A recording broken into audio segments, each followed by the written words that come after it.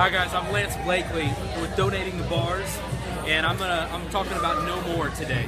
So this is about sexual assault, and uh, something I really am all about is domestic violence.